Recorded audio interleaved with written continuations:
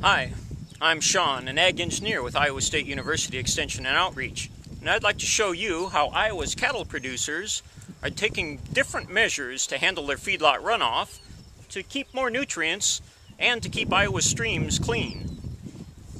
It's pretty cool.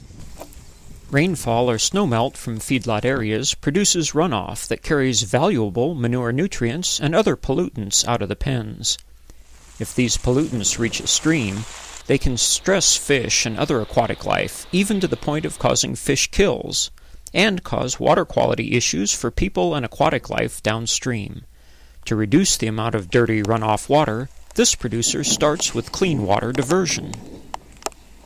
Gutters and downspouts collect rainwater and keep it from falling into the pens. The roof water is diverted through downspouts and drain lines to the back of the building, where this clean water can travel instead through the pasture to help recharge the pond.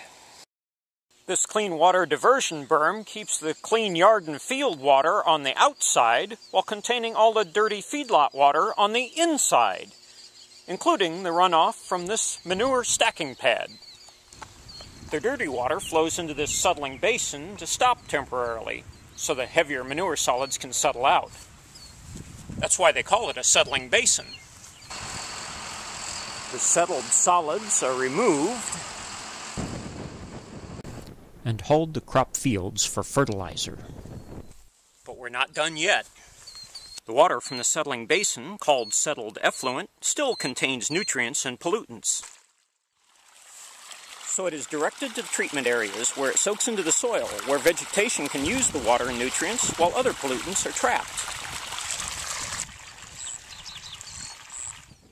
This feedlot manager even uses a small sewage pump to move some of the settled effluent to a nearby crop field, where the water and nutrients can benefit the growing crop. That's awesome!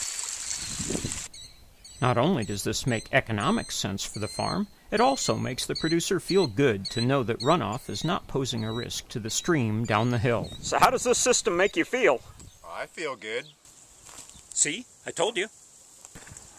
Iowa's cattle producers are working smarter to raise nutritious beef while also protecting Iowa's precious water resources. And that's a really good thing.